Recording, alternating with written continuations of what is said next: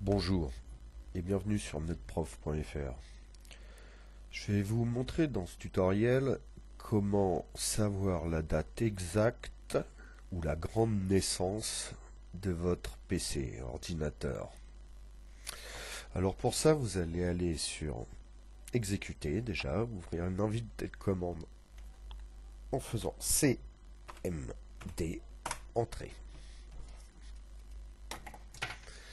Voilà. Alors, quand la fenêtre est ouverte, là, vous tapez debug. D-E-B-U-G. Entrée.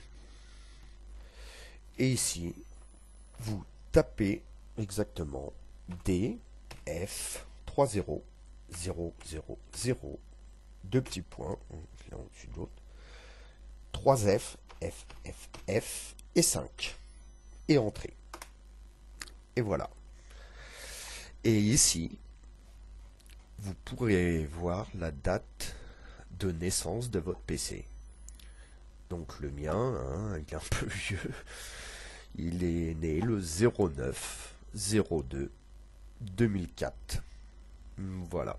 À bientôt sur netprof.fr.